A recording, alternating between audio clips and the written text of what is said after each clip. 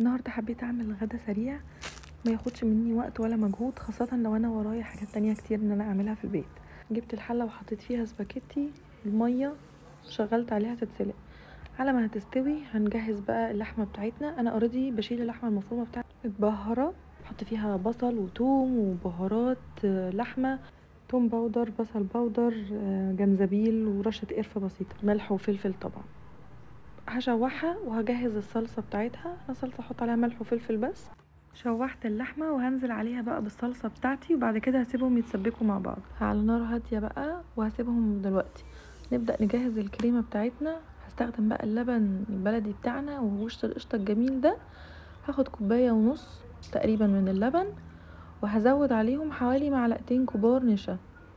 ملح وفلفل ومعلقة بقى قشطة من بتاعة اللبن. وهنقلب كويس.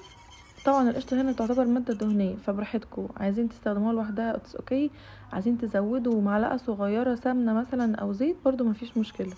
هقلب كويس وأسيبها على النار لحد ما تتقل. كده الصوص بتاعنا بقى جاهز. هنبدأ بقى نفضيهم هما الاتنين على بعض وهيبدأ لونها يبقى لونه pink وده ال pink sauce اللي أكيد ممكن تكونوا سمعتوا عنه قبل كده. mix جميل ما بين ال red sauce وال white sauce خلاص بقى إحنا كده صفينا المكرونة بتاعتنا وهننزل عليها بقى بالصوص الجميل ده. مش هنسيب ولا نقطة. كده خلاص الطبق بتاعنا جاهز. هرش بقى شوية من ال white sauce كده على الوش. الطبق بتاعي بقى جاهز. ونغرفه بقى بألف هنا ريحة جميلة وطعم جميل. يا رب لو تكون الوصفة عجبتكم ما تنسوش تعملوا like وتشتركوا في القناة. مع السلامة.